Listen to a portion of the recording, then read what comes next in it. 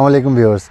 Film star Shahbaz Akmal आज सब लोगों की खिदमत में एक नए व्लॉग के साथ हाजिर है। व्यूअर्स, आज का जो व्लॉग है, वो हम अदाकारा बहार पे बनाना चाहते हैं, जिन्होंने अपना फिल्मी कैरियर जो था, वो तेरह साल की उम्र से ही शुरू कर दिया था।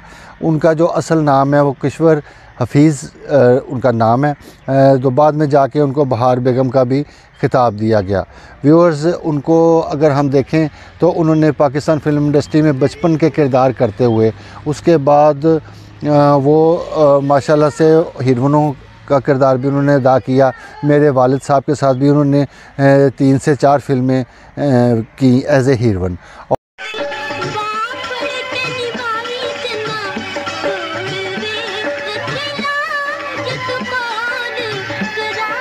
और उसके बाद उन्होंने बाद में आके माँ का किरदार भी अदा किए। वो राई साहब की पेटेंट माँ थी कि हर फ़िल्म में राई साहब के साथ वो खड़ी होती थी और माशाल्लाह उन्होंने बड़ी प्यारी परफॉर्मेंस दी, एक्शन भी किया उन्होंने, उर्दू फ़िल्मों में भी काम किया, बड़े तहजीब वाले किरदार अदा भी किए।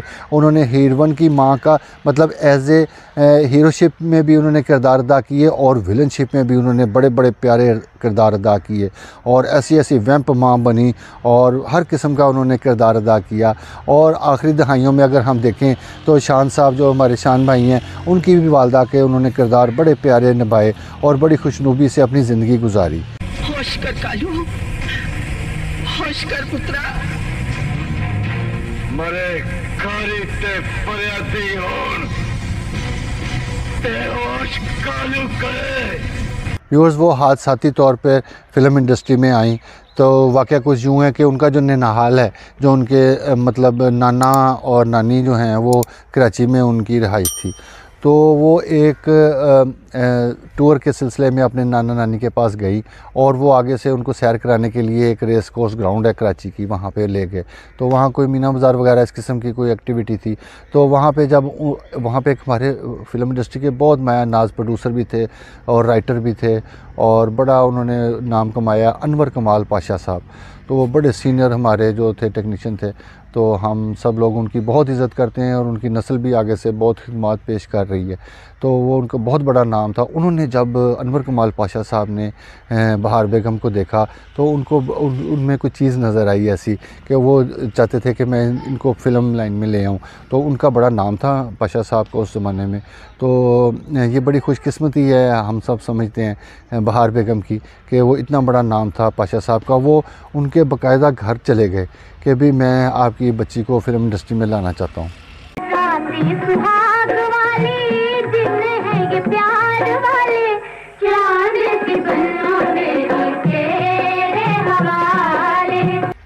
और व्यूअर्स पाशा साहब ने घर वालों को किसी न किसी तरीके से मना लिया और एक फ़िल्म अनाउंस कर दी चंद माही के नाम से।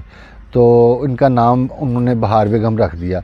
और जो असल नाम था इनका, जो वालदे ने रखा था किशवर हफीज़ साहबा, उनको तो ये नाम पसंद ना आया। लेकिन वो एक बहुत बड़े आदमी ने उनका नाम रखा था, बड़े एक लेजेंड ने उनका नाम रखा था, और उनको फिर वो इस्तेमाल करना पड़ा, अपना नाम पक्का करना पड़ा।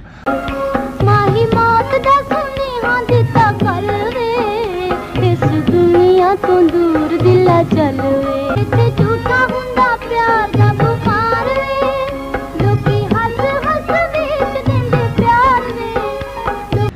अनवर कमाल पाशा साहब ने उनको तीन फ़िल्मों में साइन किया और दस पंद्रह हज़ार रुपया तकरीबन उस ज़माने में उनको अदा किया गया और उसके बाद उन्होंने बहार बेगम से काम लिया।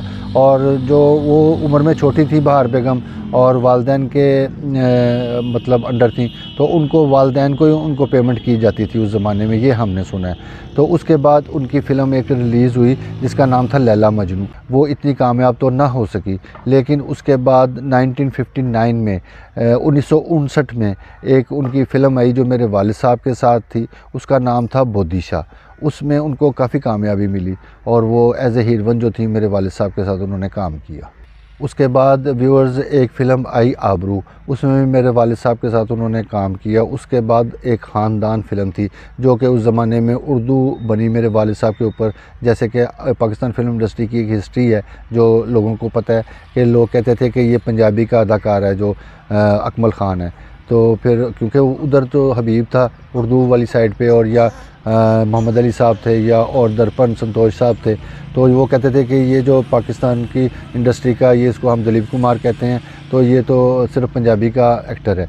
लेकिन फिर जब ख़ानदान फ़िल्म बनी तो उन्होंने साबित कर दिया मेरे वालिद साहब ने कि भाई मैं उर्दू का भी एक्टर हूँ और सबसे बेहतरीन एक्टर हूँ। उसमें जो हबीब साहब हैं और मोहम्मद अली साहब मेरे वालिद साहब के बेटे बने और उनकी वालदा कौन बनी मेरे वालिद साहब के, जिनके साथ पेड़ था वो बहार बेगम थी। वो बड़ी क्लास की फ़िल्म बनी उस ज़माने में।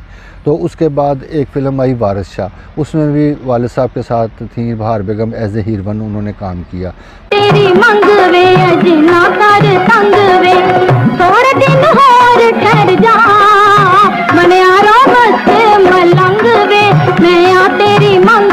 और उनके जो फिल्मी कैरियर का जो अरूज था तो उस ज़माने में आप देख लें कि वो तकरीबन साठ की दहाई हम उसको कह सकते हैं। उसमें उन्होंने फिर शादी करने का फ़ैसला कर लिया और हमारे एक टेक्नीशियन थे असम यूसुफ साहब, पाकिस्तान फ़िल्म इंडस्ट्री के। उन, उनके साथ उन्होंने शादी कर ली और उसमें से उनके माशाल्लाह दो बेटे भी हुए। तो फिर आहिस्ता आहिस्ता वो ज़िंदगी के साथ साथ उनकी कोई आपस में नचाकी पैदा हो गई। नचाकी इतनी बड़ी लड़ाइयाँ इतनी बड़ी कि वो फिर उनको तलाक हो गई। तो एस एम यूसुफ साहब ने तो फिर फ़ौर दूसरी शादी कर ली, लेकिन बहार बेगम ने अकेले ही रहने का फ़ैसला किया और अपने बच्चों को पालने का फ़ैसला किया। तो आपको पता है व्यूअर्स के घरदारी चलानी और जो बच्चों को पालना वैसे तो नहीं पाल जाते उनके लिए ख़र्चा चाहिए। तो फिर उन्नीस सौ तिहत्तर में जो बहार बेगम थी, वो पाकिस्तान फ़िल्म इंडस्ट्री में दोबारा लौट आई, अपने बच्चों की खातर, उनकी रोज़गार की खातर। और फिर वो जब वो इंडस्ट्री में आई तो फिर उनकी जो उम्र थी, तकरीबन तीस साल के करीब हो चुकी थी। और बच्चे भी थे तो फिर वो जो डायरेक्टर्स और प्रोड्यूसर थे, उन्होंने कहा कि भी हम इनको हीरोइन तो नहीं ले सकते। तो लेकिन वो फिर उन्होंने अपना ज़िंदगी का सफ़र तो चलाना था किसी न किसी तरीके से। फिर उन्होंने करेक्टर एक्टर करना शुरू कर दिए बहन का माँ का। खबरे कानून दे तकाजे पूरे करन दा इन्ना फिकर क्यों लगा रहंदा है? ए ओ तकाजे ने जज साहब जड़े पूरे कर दिया कर दिया मजलूम इंसाफ मंगना छड़ तो उसके बाद फ़िल्में फिर बहुत सी बनी जिसमें दो रास्ते भी थे एक फ़िल्म थी उसके बाद एक आईना फ़िल्म थी, उसमें भी उन्होंने किरदार बड़ा प्यारा अदा किया। उसके बाद फिर जो राई साहब के दौर की जो अगर फ़िल्में हम देखते हैं तो उसमें वैशी गुजर है, शेर बाद, शेर खां एक फ़िल्म थी, वो बड़ी ज़बरदस्त थी, हाज इकबाल हसन साहब की। और उसके बाद सैयद नूर साहब ने जो चूड़ियाँ फ़िल्म बनाई, उसमें आपको पता है कि वो उन्होंने विलन माँ का किरदार अदा किया और कमाल उन्होंने परफॉर्मेंस दी। बेड़ा गर्क होनी है बेहयाई हो रही है मेरे तो के से तो मैं नहीं। तेरा बेड़ा है तेन मैं आज फड़ के मार छड़ने तेरा बेड़ा जाए और फिर आप देखें कि एक टाइम ये भी आया कि उनको, जैसे मैंने आपको बताया कि उनको मलका जज्बात का भी खिताब मिला। उन्होंने इतना काम किया, इतना काम किया कि जितनी सुल्तान राही साहब की फ़िल्में हैं, उससे भी ज़्यादा बहार बेगम की फ़िल्में हैं। तो रईस साहब के साथ तो उन्होंने माँ का किरदार किया भी और हमारे साथ भी किया और भी जितने एक्टर्स हैं, सबकी माँ का किरदार उन्होंने ही अदा किया।